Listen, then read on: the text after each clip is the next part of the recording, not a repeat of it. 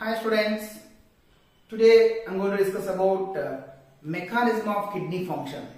In that, first one is the RAAS,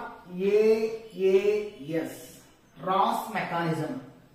RAS mechanism means this mechanism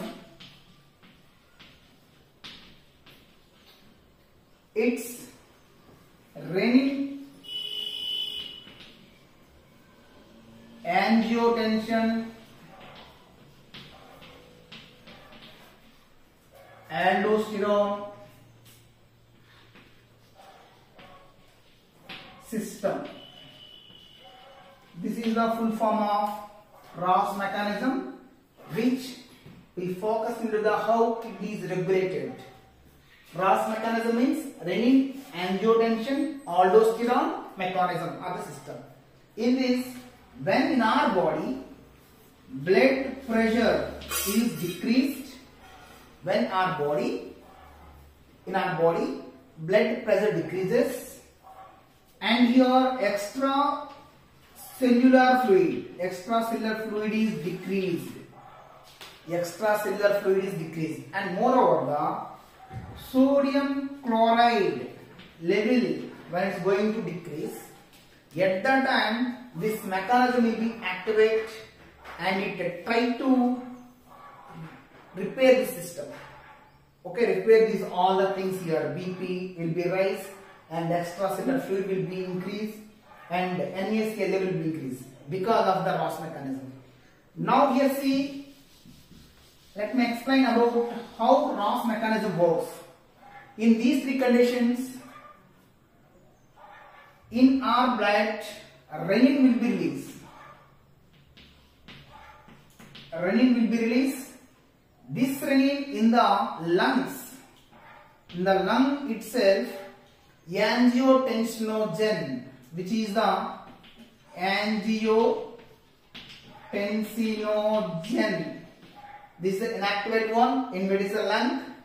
This is going to convert in presence of renin it change into angiotensin 1 angiotensin 1 it will be happens in the lung.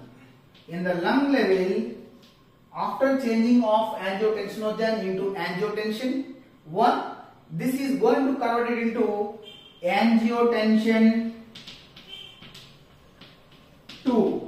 by the ACE angiotensin converting enzyme this enzyme makes the conversion of angiotensin 1 into angiotensin 2 because of this this angiotensin 2 will be act on the adrenal cortex region which is known as the that uh, region there you know in the cortex region have regions there which are the glomerulosa right in that it will act it can release the aldosterone act on the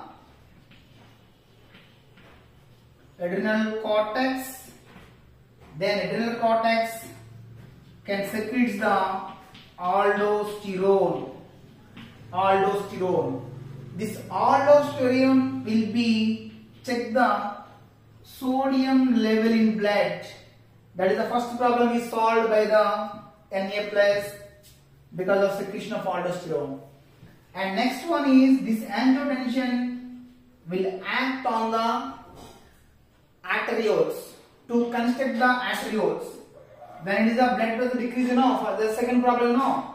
then here this will act on the blood or the arteriole. it going to vaso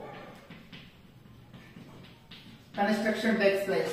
Then automatically that problem also will be rectified.